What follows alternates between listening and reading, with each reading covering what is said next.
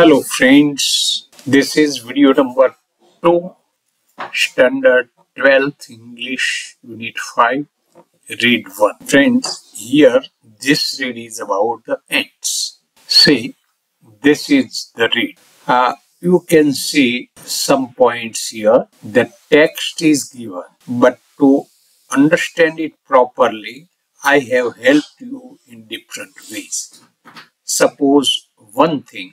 Below the paragraphs I have put here the words glossary words so that you can read the words and its meaning to understand the certain sentences or paragraph. One thing. Second thing uh, with uh, each paragraph there is such type of and those pictures shows uh, means helps you to understand the meanings of that paragraph. Then uh, next thing that I have written this type of number here C161. That means in C1 comprehension question of exercise number 6. This is the first sentence. So to understand the first or to get the answer of the first sentence, you can read this, this sentence.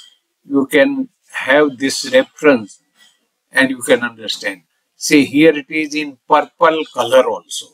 This way you will see the purple color.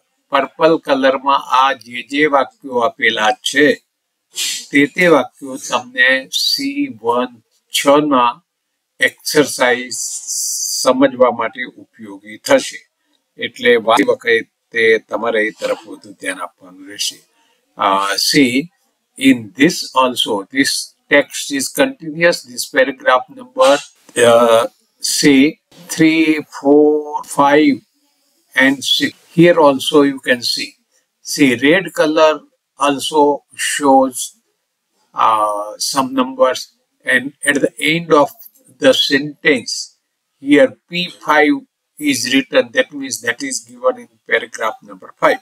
Uh, in the same way, green color, blue color, yellow color. Uh, so you can understand the uh, sentences and also find the answers of your exercise uh, number easily. મિત્રો તમે સારી રીતે સમજી શકો અને easily તમારા જવાબોના માટે વાક્યો રેફરન્સમાં જોઈ શકો એટલા માટે આ એક બતાવ્યું છે સ્કીમ. અને તમે એ રીતે વાંચો.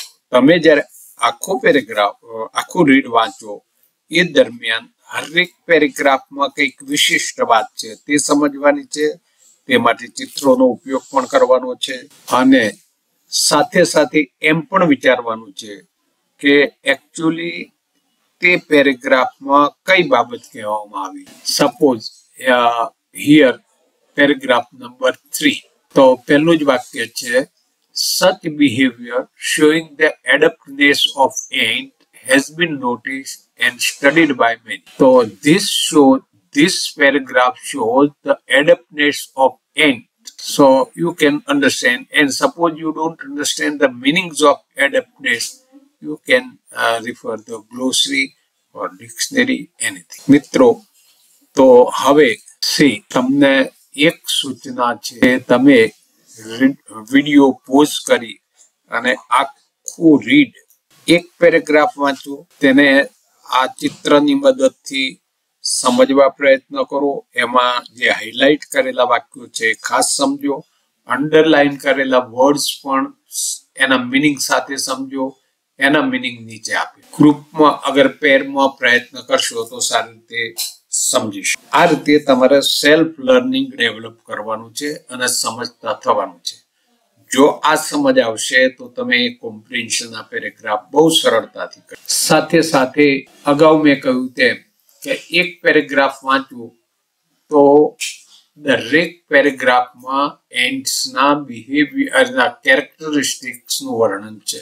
તો કયાનું છે એ પણ સમજતા જવાનું છે. એક અગર બે વખત રીડ વાંચ્યા પછીથી તમે આ બધું જ પૂરું જોઈએ પછી આ એક એક્સરસાઇઝ એક્સ્ટ્રા એક્સરસાઇઝ આપી છે તે તમારે એમાં લખ્યું છે કે રીડ ધ રીડ વન એટલે કે રીડ વન તમે વાંચો hurriedly describe the following points હવે દરેક પેરેગ્રાફમાં વાંચ્યા પછી અહીં દરેક પોઈન્ટ્સમાં શું આપ્યું છે, કઈ બાબતની વાત કરી છે બતાવ્યું છે, તો તમે એ વાંચી શકશો, જોઈ શકો. તમે જે પેરેગ્રાફમાં આ પોઈન્ટ્સ આપ્યો હોય, એ પેરેગ્રાફનો નંબર અહીંયા લખો. ટેક્સ્ટમાં જુઓ, પેરેગ્રાફ નંબર લખેલા છે.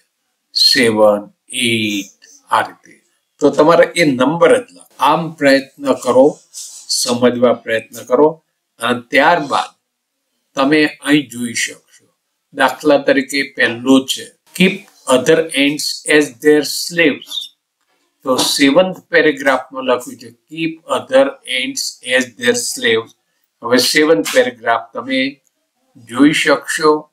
પહેલું જ વાક્ય. There are ants that keep other ants as slaves મિત્રો, અહીં વાક્ય જે લખ્યું છે, એમાં શાબ્દિક ફેરફાર કરી અને એક્સરસાઇઝ બનાવેલી છે.